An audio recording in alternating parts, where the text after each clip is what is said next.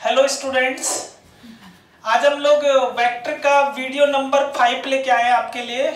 और ये वीडियो है resolution of vector myself K R Meena H O D of physics गोटरटल education और मैं आपको जो है फिजिक्स का जो खोप है, वो निकालने के लिए मैं आपको बेसिक का फिजिक्स का एक बेसिक टॉपिक है। वेक्टर और उसको मैं एक्सप्लेन कर रहा हूँ आज। और इसका जो है टॉपिक आज हमारा रिजोल्यूशन ऑफ़ वेक्टर देखो, आप लोगों को जो है वेक्टर के बारे में मैं पहले पढ़ाया हूँ कि वेक्टर जो होता है किसी भी फ़िज़िकल क्वांटिटी को, किसी भी फ़िज़िकल क्वांटिटी को हम लोग जो है वेक्टर के फॉर्म में लिख सकते हैं। उसके लिए क्या करते हैं हम लोग? सपोज़ करो ये हमारे पास कोई ए वेक्टर है। ये कोई ए वेक्टर है। इस वेक्टर को अगर मुझे रिप्रेजेंट करना है तो हम लोग ऐसे रिप्रेजेंट करते हैं। देखो, ये हमारे पास में ए ए वेक्टर है। तो ए वेक्टर जो है, उसको हम लोग जो है तीनों एक्सिस में, तीनों एक्सिस में एक्स एक्सिस वाई एक्सिस और ये है इसकी जेड एक्सिस इसके साथ में ये एंगल है थीटा इसको हम लोग तीनों एक्सिस में रिजोल्व कर सकते हैं। इसको तीनों एक्सिस में जो है, इसको रिजोल्व कर सकते हैं। रिजोल्व का मतलब है इसके तीन कंपोनेंट्स बना सकते हैं। एक्स एक्सिस के अलोंग जो कंपोनेंट होगा, वो कंपोनेंट होगा इसका ए एक्स वाई एक्सिस के अलोंग जो कंपोनेंट होगा, वो कंपोनेंट होगा इसका ए वाई और जेड एक्सिस के अलोंग जो कंपोनेंट होगा, वो होगा इसका कंपोनेंट ए जेड मतलब कि ये जो प्रोसेस है, किसी भी वेक्टर क्वांटिटी को उसके तीनों कंपोनेंट्स में रिजोल्व करने का जो प्रोसेस है।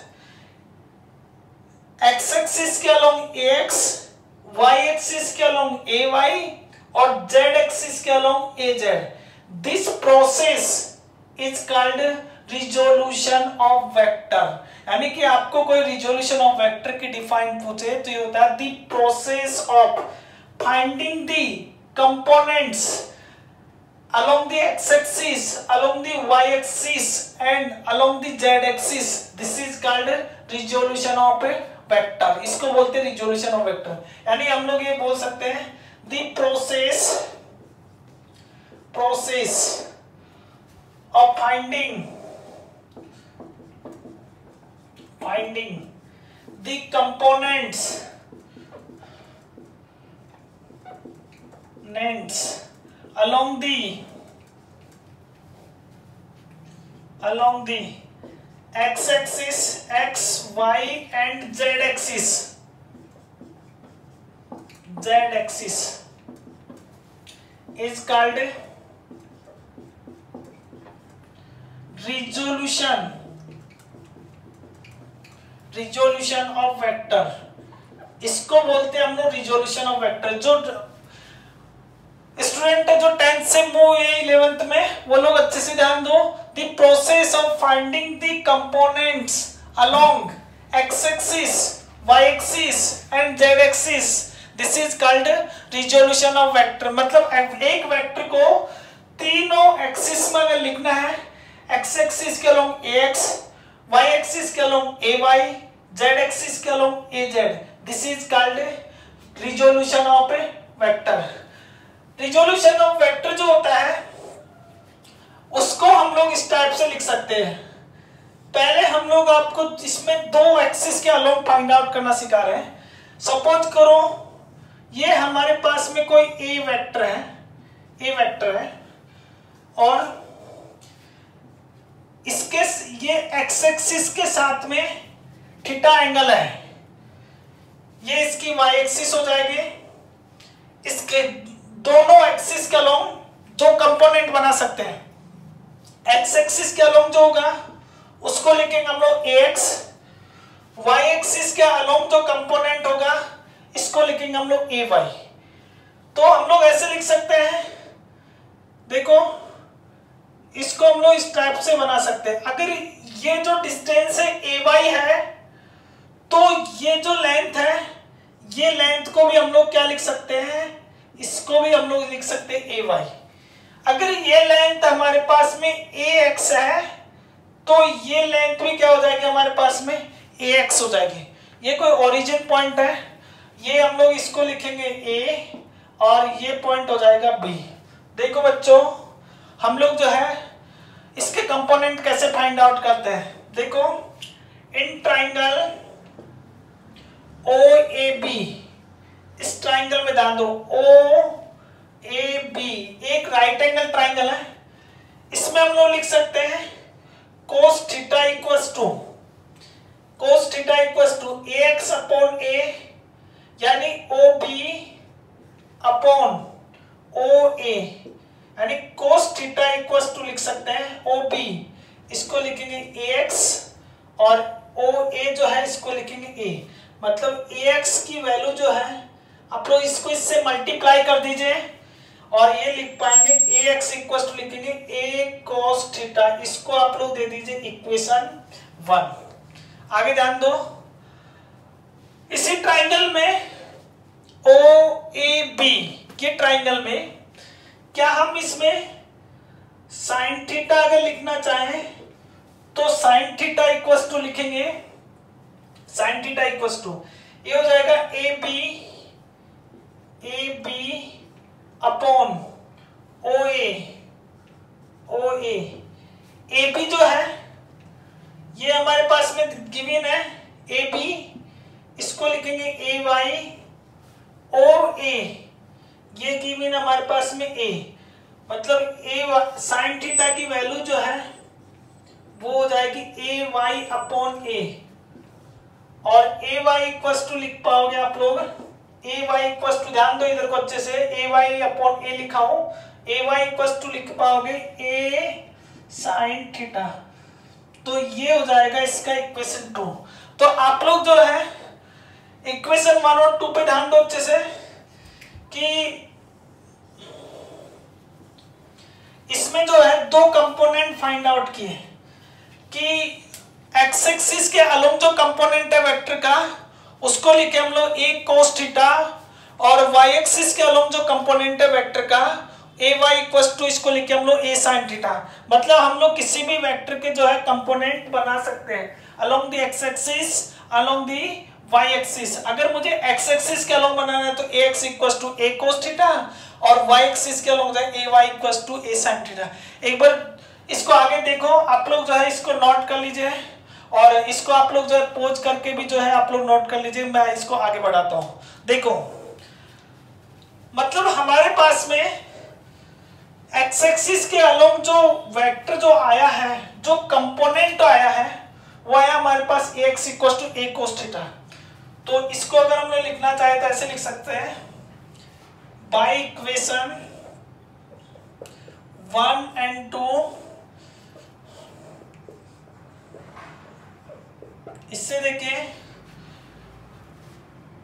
A X square plus A Y square A X square plus A Y square यानी दोनों इक्वेशन जो है, उनको स्क्वायर करके ऐड कर रहा हूँ। तो A X square plus A Y square तो ये हो जाएगा A cos theta A cos theta square plus A sine theta A sine theta इसका होल स्क्वायर और ये हो जाएगा A X square plus A Y square equal to A square cos square theta plus A square sine square theta.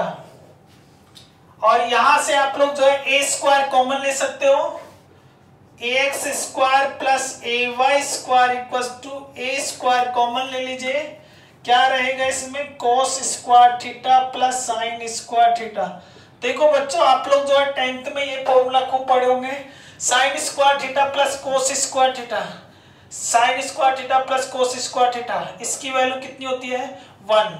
तो हम लोग ये लिख सकते हैं कि A X square plus A Y square equal to हो जाएगा ए स्क्वायर और ए की वैल्यू जो है ए तो स्क्वायर है, इसको इधर शिफ्ट कर देंगे और ये हो जाएगा under root A X square plus A Y square और ये जो है this is the magnitude of the vector इसको बोलते हैं magnitude of the this is the this is the resultant resultant magnitude magnitude of vector इसको बोलते हैं रिजल्टेंट मैग्नीट्यूड ऑफ़ वेक्टर मतलब ये जो वेक्टर है, ये वेक्टर इसको हम लोग लिख सकते हैं, दो एक्सिस के अलोंग लिखना चाहे। एक्स एक्सिस के अलोंग लिखना चाहे तो ए एक्स और वाई एक्सिस के अलोंग लिखना चाहे तो ये हो जाएगा हमारे पास में ए वाई हो जाएगा। ये वेक्टर फॉर्म है और इसका ये क्या है इसका? मैग्नीट्यूड दिया हुआ है। तो ये जो है आपको कोई बोले कि सर ये जो है इसका मैग्नीट्यूड कितना है इस वेक्टर का तो इस वेक्टर का मैग्नीट्यूड हो जाएगा A to under root X square plus A Y square तो अभी हम लोग जो पढ़ रहे थे वो ये था कि सर ये हमारे पास में एक वेक्टर था, ये वेक्टर था। इस वेक्टर का ये साथ में ये एंगल थीटा था, ये एक्स एक्सिस थी, ये वाई एक्सिस थी। इसका ये कंपोनेंट था हमारे पास में एक्स ये जो कंपोनेंट था ये था हमारे पास में ए वाई। और इसको हम लोग लिख सकते थे, ए वेक्टर जो है, ये हो जाएगा A X vector plus A Y vector. मतलब दो कंपोनेंट में हम लोग इसको रिजोल्व कर सकते हैं। इसका मैग्नीट्यूड मैंने अभी आपको बताया था। Magnitude of resultant vector resultant vector इसका जो मैग्नीट्यूड था वो मैंने बताया, आपको ए इक्वस टू लिख सकते हैं, अंडर रूट ये हो जाएगा A X square plus A Y square तो यहाँ तक हम लोग अभी तक पढ़े कि सर मैग्नीट्यूड जो है, वो इस टाइप से हो जाएगा। अगर इसको तीनों कंपोनेंट में रिजोल्व करें तो तीनों कंपोनेंट में ऐसे रिजोल्व कर सकते हैं।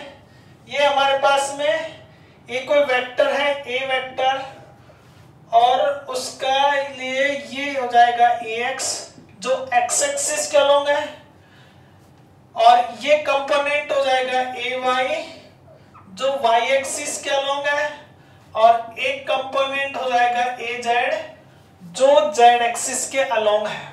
देखो, ये ओरिजिन पॉइंट है। तो हम लोग लिख सकते हैं, ये जो वेक्टर दिखाया है, हम लोग ए वेक्टर जो दिखाया है, इस वेक्टर का, इसके साथ में ये एंगल जो है थीटा है। तो हम लोग इसको लिख सकते हैं। सर, ये ए वेक्टर जो है ए वेक्टर इक्वल टू लिखेंगे।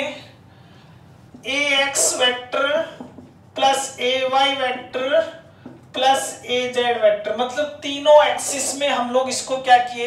रिजोल्ट कर दिए। A X vector plus A Y vector plus A Z vector या फिर हम लोग इसको ऐसे भी लिख सकते हैं। A vector equal to A X X axis के अलोंग अगर डायरेक्शन लिखना है तो हम लोग किससे लिखेंगे? आई यूनिट वेक्टर से, जो हमारा वीडियो लेक्चर नंबर थ्री में मैं एक्सप्लेन किया हूँ। तो एक्स आई लिख सकते हैं plus A Y J plus इसको लिख सकते हैं ए जेड के इस टाइप से भी हम लोग लिख सकते हैं इसको।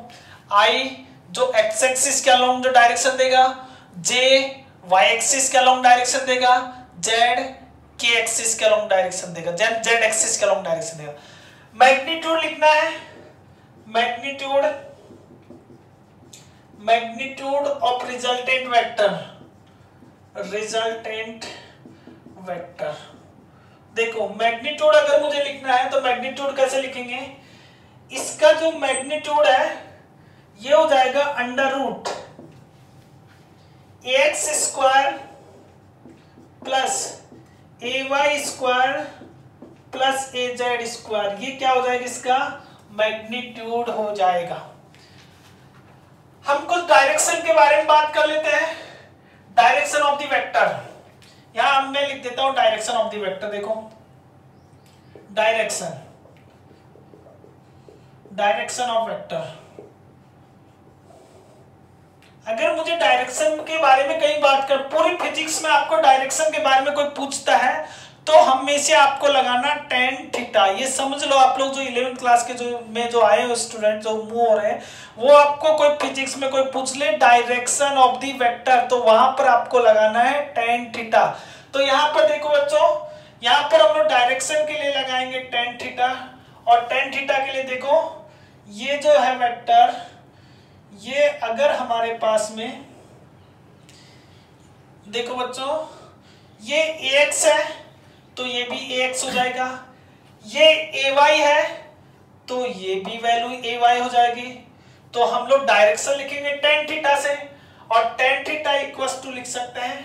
Tan theta equals to A Y A Y upon A X यानी कि थीटा इक्वस टू लिख सकते हैं।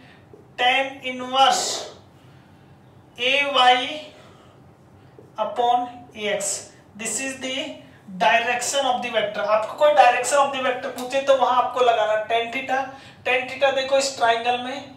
इसमें लिख सकते हैं tan theta equal to A Y upon A X और theta equal to tan inverse A Y upon A X तो ये था बच्चों हमारा रिजोल्यूशन ऑफ़ वेक्टर और रिजोल्यूशन ऑफ़ वेक्टर के बारे में एक बार और मैं आपको समझाता हूँ।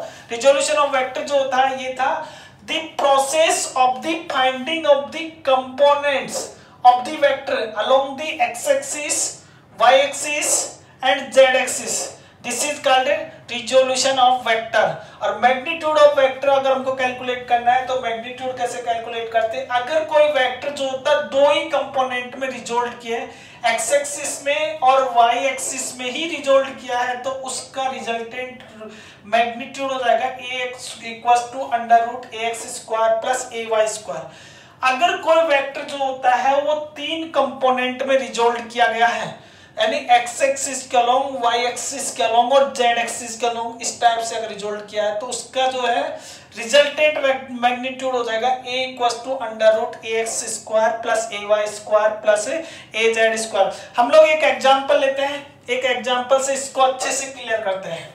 देखो।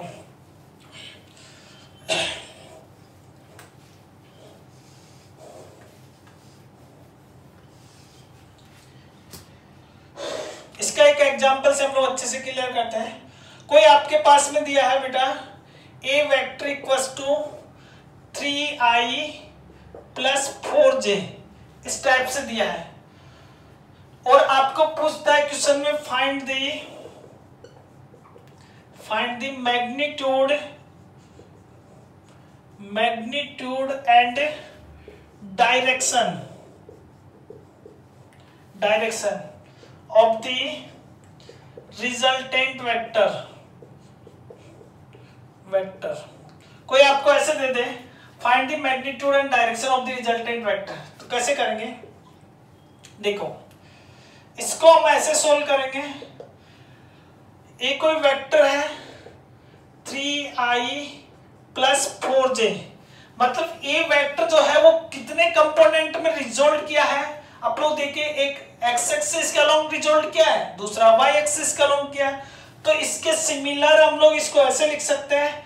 ये हो जाएगा A X I plus A Y J इस टाइप से इसको लिख सकते हैं। अब देखो बेटा इसको हम लोग मैग्नीट्यूड लिखना चाहे। मैग्नीट्यूड मैग्नीट्यूड का हम लोग resultant magnitude resultant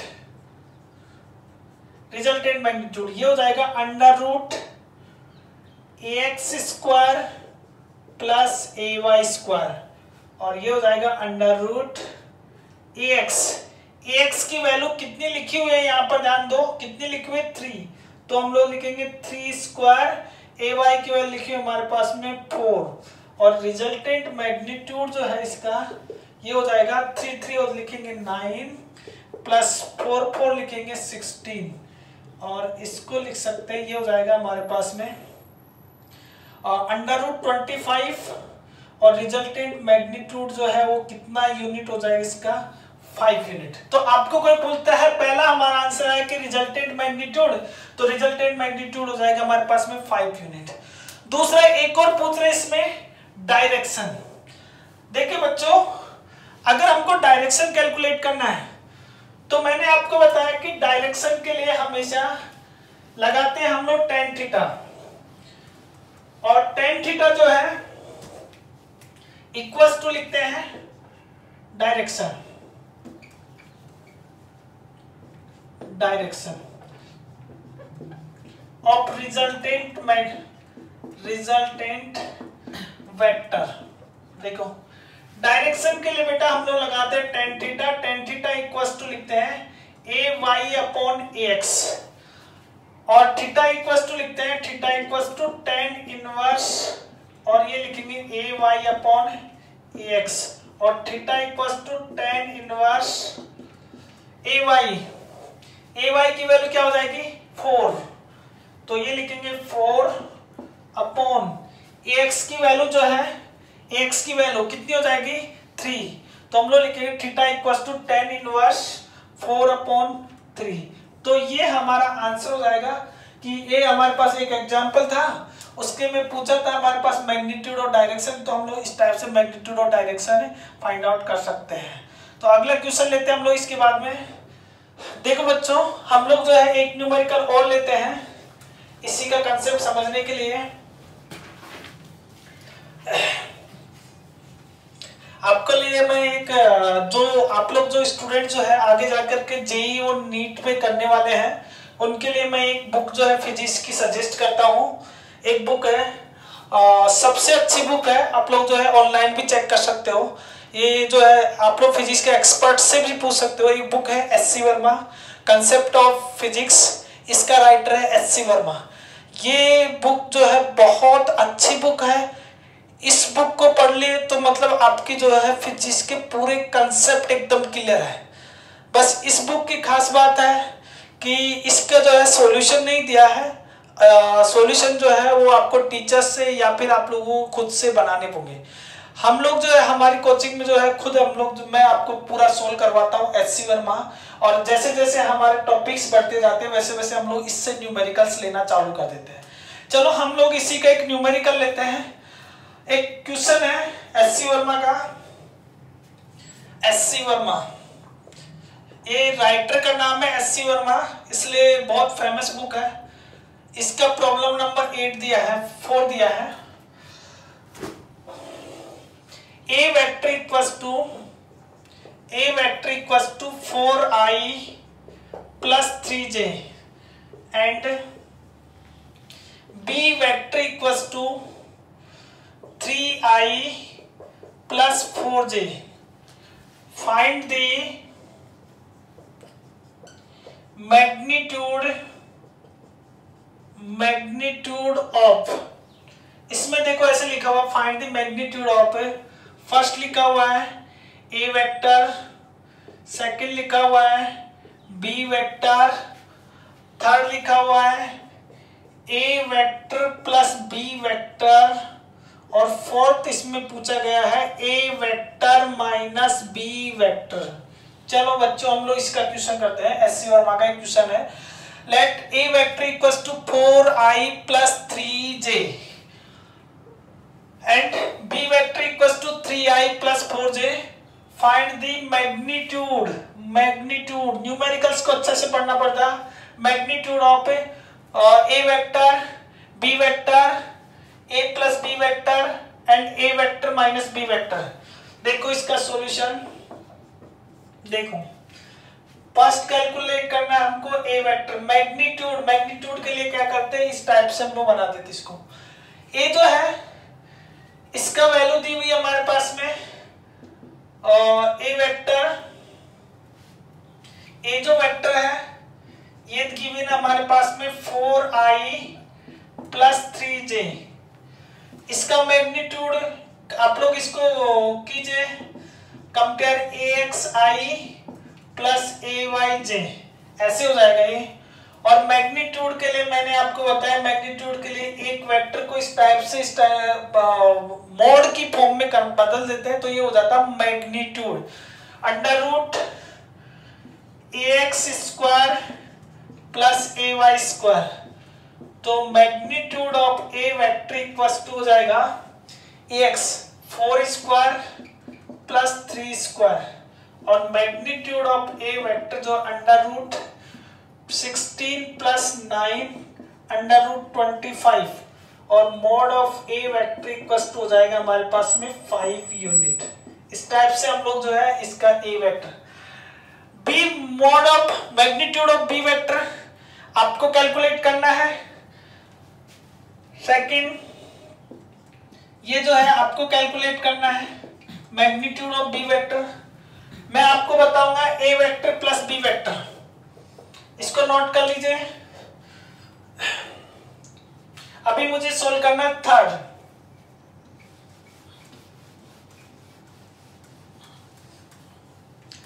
थर्ड हमारा है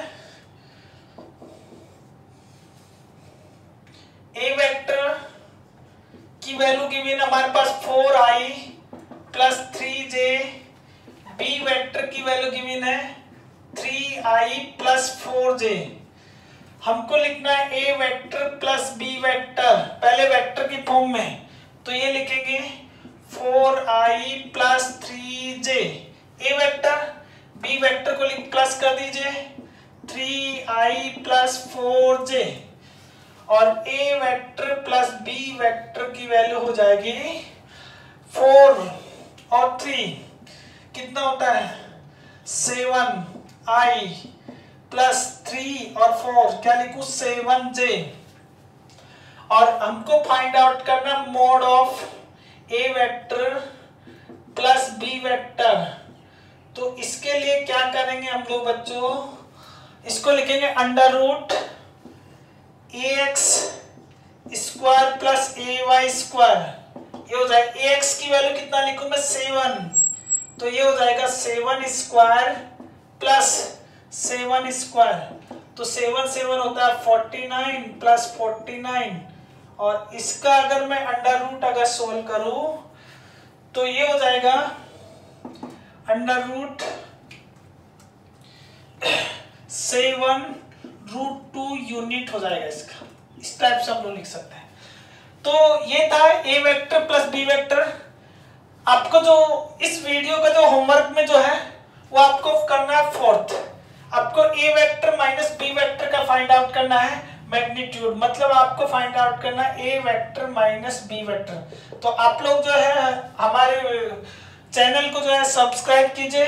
जिससे आपको जल्दी जो है नोट हमारे कोई भी वीडियो बने तो उसका आपको तुरंत मैसेज मिल सके। और, कुछ डाउट्स रहे तो आप लोग हमारे यहाँ कॉन्टेक्ट कीजिए।